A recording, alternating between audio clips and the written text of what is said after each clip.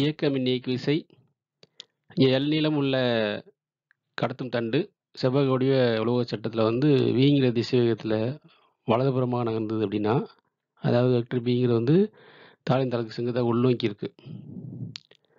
அதில் இந்த into mark தான் அதை காட்டுது. இப்போது சல் சட்டம் உள்ள நீங்கள் பரப்பு என்ன ஆகுதுன்னா உங்களுக்கு அதிகரிக்குது. இது ஆரம்ப நிலையாக இருந்ததுன்னா இப்போ நம்ம என்ன பண்ணுறோம் இங்கே விங்கிற திசைவத்தில் இந்த ஏபிங்கிற சட்டத்தை வெளியே இருக்கிறோம் அப்போது பரப்பு அதிகரித்தாலோ அல்லது குறைஞ்சாலோ உங்களுக்கு வந்து பரப்பில் மாற்றம் ஏற்படும் பொழுது அதனுடன் தொடர்புடைய காந்தப்பாயம் மாறும். அப்போ d phi equal to B into பரப்பில் ஏற்படும் மாற்றம்.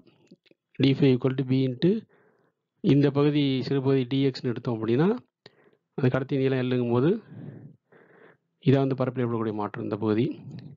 அப்போ இது எல்லு இந்த பகுதி வந்து என்னது டிஎக்ஸ் அப்போ நீளமின்ட்டு அகலம் இந்த ஒரு செவ்வகோடைய பகுதி இருக்குதுங்களா அதான் நீளமின்ட்டு அகலம்.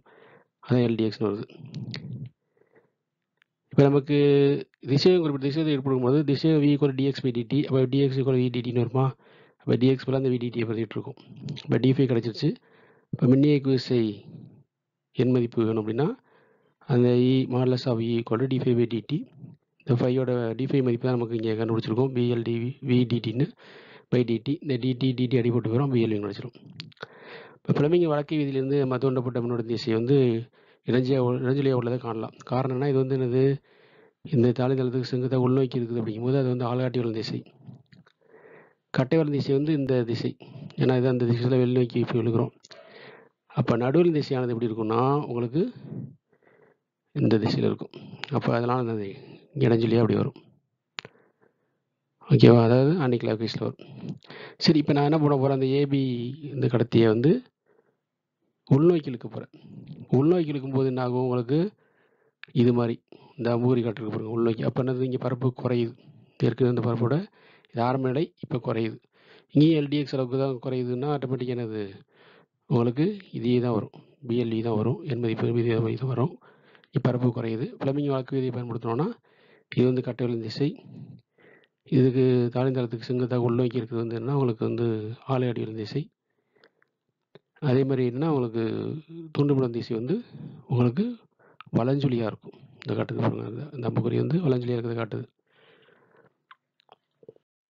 இப்போ உலக சட்டத்துக்கு பதிலாக இப்போ மின்னியக்கு விசை e equal to B L V மின்னியக்கு விசை உள்ள ஒரு மின்கலம் ஒன்றை வந்து நேர்மின் முனை அந்த ஏலையும் அதே மாதிரி பிங்கிற முனையிலையும் இடையில் நினச்சோன்னு வச்சுங்களேன் இந்த பகுதிக்கு போகலாம் இந்த ஏபிங்கிற கடத்திக்கு போகலாம் இந்த இடத்துல ஒரு என்னது இதில் என்ன வருது? பிஎல்விங்கிறது மின்னியக்கு வருது. ஓகேவா? இயக்க விநியோகிசை இதே வந்து ஒரு மின்கல அடுக்கு அதாவது மின்கலத்தோட விநியோகிசை வந்து பிஎல்வி இருக்கக்கூடிய மின்கலத்தை வந்து இங்கே இணைக்கிறோம். அதான் இங்கே கொடுத்துருக்காங்க. ஈக்குவல் பிஎல்வி இந்த ஏபி பகுதியோட மின்திரை வந்து அந்த மின்கலத்தின் அகமின்திரை ஆறுன்னு எடுத்துக்கலாம். அப்போ இப்படி எடுத்துக்கும் போது இது மாதிரி கொஷின் கேட்குறாங்க அதனால் நம்ம கொடுத்துருக்கோம். அப்போ இந்த பகுதிக்கு முழுமையாக என்னது? இதுக்கு பதிலாக இதனால் ஏற்படக்கூடிய அந்த மின்னியக்குசி பிஎல்வி மின்னியக்குசி சமமான மின்கலத்தின் மின்னியக்கு எடுத்துக்கிட்டு இந்த ஏபி பகுதியின் மின்திரை வந்து சமமான அகமின்திரை உள்ள அந்த மின்கலம் இருக்குது அப்போ இதை இணைச்சோம் அப்படின்னு வச்சுங்களேன் அப்போ ஆட்டோமேட்டிக்காக என்ன ஆகுனா ஏற்கனவே இந்த சுற்றின் நிகர மின்திரை என்னது? ஆர் ப்ளஸ் ஆர் மின்னியக்குசி வந்து பிஎல்வி அல்லது பிவிஎல் அப்போ சுற்றில் பாய் மின்னோட்டம் அந்த மின்னோட்டம் என்ன மதிப்பு என்னவாக இருக்கும்? மின்னியக்குசி பை மின்திரை மின்னியக்குசி என்னது? ஆர்லஸ் ஆஃப் இ பை மின்திரை வந்து தொ தோ மின்திரை ஆர் ப்ளஸ் ஆர் அப்போ பிஎல்வி அல்லது பிவிஎல் பை ஆர் ப்ளஸ் ஆர்னு வந்துடும் இப்போ அப்படி எப்படி கேட்பாங்க அப்படின்னா அந்த சுற்றில் வந்து என்னது அந்த கடத்திக்கு பதிலாக சட்டத்துக்கு பதிலாக அந்த மின்னியக்கு இதை கொடுக்கக்கூடிய மின்னியக்கு சமமான மின்னியக்கு உள்ள ஒரு மின்கலத்தையும் இதன் மின்திரைக்கு சமமான உள்ள அகமின்திரை உள்ள மின்கலத்தையும் இணைக்கும் பொழுது அதை செல்லக்கூடிய மின்னோட்ட மதிப்பு என்னன்னு கேட்பாங்க. அதுக்கு தான் விடை. நன்றி.